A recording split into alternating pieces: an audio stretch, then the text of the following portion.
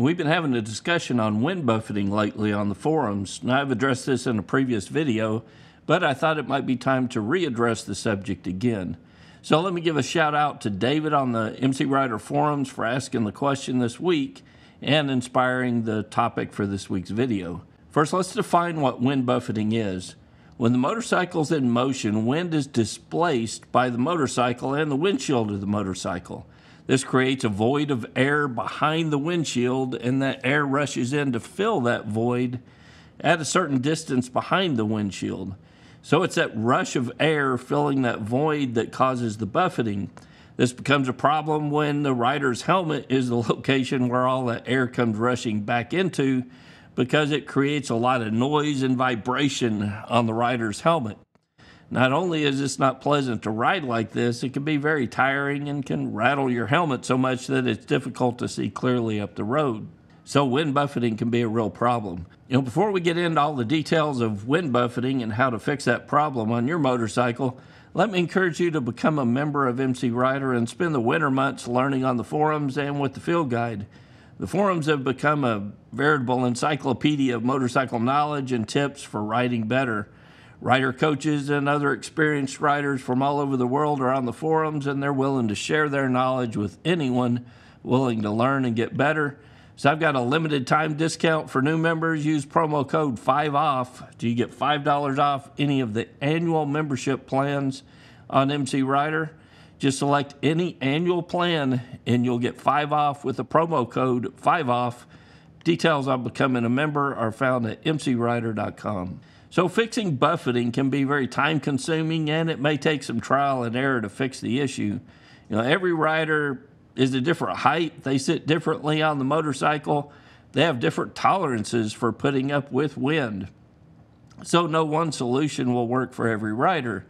But basically, there are two main approaches that riders take to fix the problem of buffeting on their motorcycle. They either go with a taller windshield or look to clean that air up. So, let's look at the taller windshield option first. Many riders think that a taller windshield going higher and higher is going to fix the problem until they can move all of that wind over the top of their helmet. So this causes that rush of wind to be behind the helmet and that displacement of the wind and all that rush of the wind happens behind the rider's helmet so that the rider's sitting in this smooth pocket of air. But remember, buffeting is not caused by the direct wind hitting your helmet or riding down the road, it's that wind filling the void created by a windshield or a large fairing on a touring bike, for example. So you'll not experience wind buffeting on a naked motorcycle with no windshield. You may not like the direct wind either, but that's a different problem than wind buffeting. So I've got a Triumph Rocket 3 in my Challenger over there. Don't get any wind buffeting at all on the Rocket 3. Man, it's got a little bitty windshield on it but all of the wind, you know, hits chest level or up, so my helmet's in clean air. I do get a little bit of buffeting on the Challenger, and it's because it's got that big fairing on the front of it and a windshield, and all of that rush of air coming in behind that fairing causes a little bit of buffeting depending on what the conditions are like. Personally, for me, I don't like the taller windshield solution. I don't like looking through a windshield no matter how clear the windshield is, there's always going to be reflections from the sun that are distracting. Windshield gets covered in bugs that accumulate on the windshield, and I don't like looking through all that. And second, it's just a matter of preference. A giant windshield on a motorcycle doesn't look good, in my opinion. If it works for you and you're happy with it and you have no problem with your solution, you know, I say go for it. But for me, that really tall windshield sitting on the front of a motorcycle just doesn't look good. It's not a very attractive look. But if that works for you and you don't mind looking dorky, then I say go for it. Or maybe I'm alone in this opinion and a lot of people don't think that tall windshield looks that bad. You do what works for you. But a tall windshield can also make the problem worse because the bigger the windshield is, the more wind it displaces, the more void it creates behind it, and the bigger that rush of air coming in to fill that void behind the windshield. So if the taller windshield doesn't move all of the air to the right place for your particular height or your seating position on the motorcycle, you may find yourself in a worse position than with a shorter windshield. So if you're like me and you don't want to look through that giant tall windshield on the front of your motorcycle, the next fix is to clean up the air as it comes around the windshield and the fairing of the motorcycle. So remember, as that windshield's moving through the air, it's creating a void of air behind it. This void of air is refilled by all the surrounding air. The taller windshield will move the void higher and further back, but you know, it still may hit on your helmet unless you get up tall enough, you know, on the windshield so that you can get your helmet in a clean area.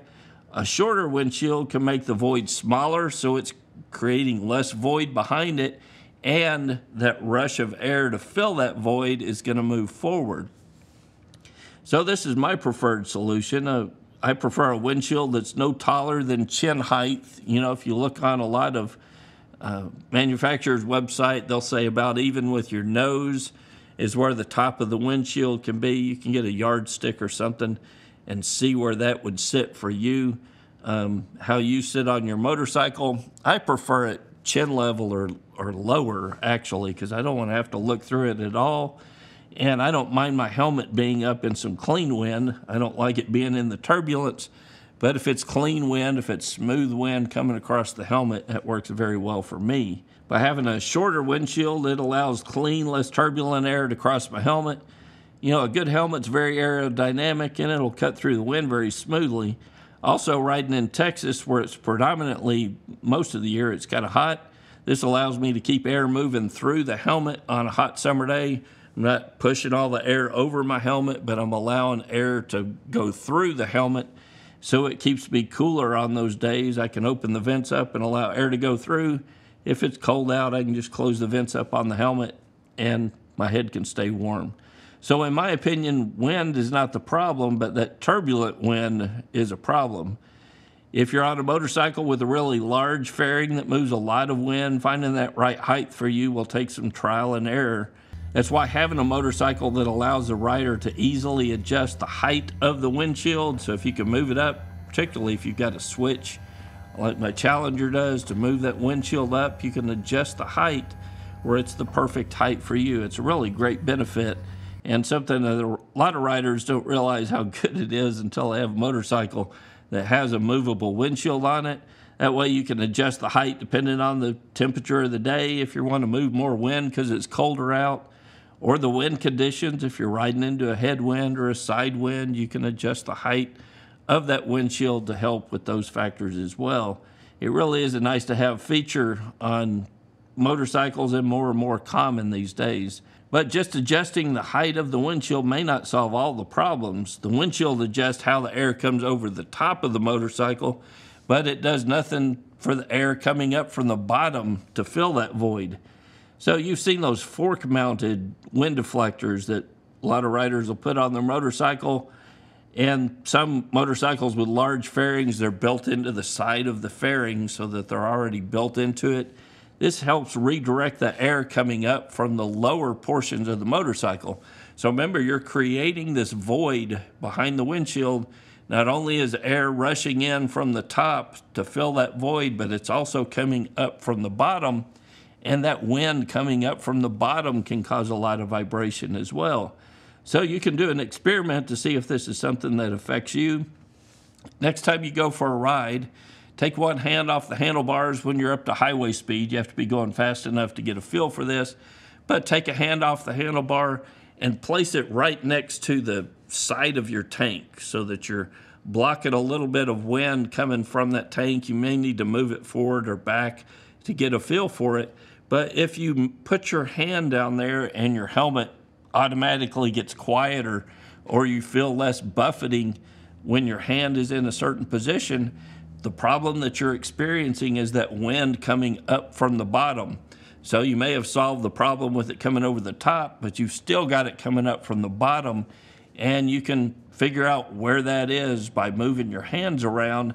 And a lot of times, having a fork mounted lowers, which is what they're called for your motorcycle, will help fix a lot of that because it will deflect a lot of that wind out to the side so you don't have that as big a rush coming up from the sides of the tank. Now, I found that the lowers have a big impact on buffeting and the wind noise in particular, and getting this right will have a big impact to help solve your problem. So, what about you? Do you have something that you'd like to share that's worked for you to solve wind buffeting? Leave a comment below. Tell us how you solved the problem on your motorcycle. I'd love to hear from you. Or become a member and support what we do here at MC Rider and join us on the conversation that's already happening on the forums where we're discussing wind buffeting. Till next week, guys, it's Kev with MC Rider, and I'll see you on the road.